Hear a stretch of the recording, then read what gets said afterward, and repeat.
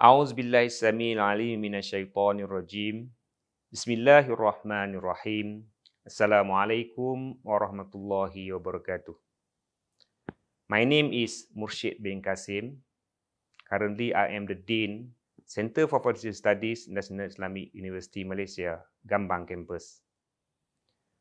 First and foremost, I would like to congratulate and say tahniah to all of you, our new intake students on your enrollment to the Center for Foundation Studies, IIUM, or also known as CFS IIUM, for academic sessions of 2020-2021. Ahlan wa sahlan wa marhaban bikum jami'an. Welcome and selamat datang to our beautiful and peaceful CFS IUM Gambang campus, surrounded by greenery and serenity that will be your new home for a minimum of one year period of study, insyaAllah. Dear brothers and sisters, as everyone is aware, the year 2020 has been a very historic and challenging year to all of us. Besides the outbreak of the COVID-19 pandemic, this year also marks the beginning of your academic journey in this Center for Foundation Studies. This is an important stage to prepare you to lead the way and fulfill the amanah entrusted on you as the Khalifa on earth. Hence, I believe that besides you, your parents, family members, and friends must be proud of your momentous journey that will begin here today.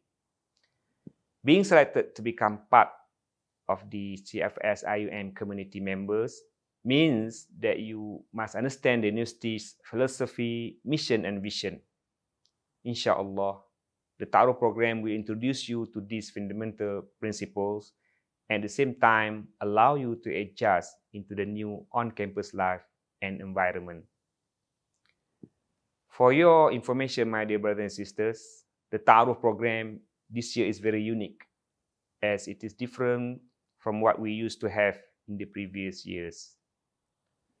Traditionally, this program is normally conducted through a series of briefings, lectures, and activities on matters pertaining to become an IUM community member. However, this year, in embracing the new norms, a hybrid Ta'aruf program that includes both online and face-to-face session has been designed to ensure adherence to the SOPs.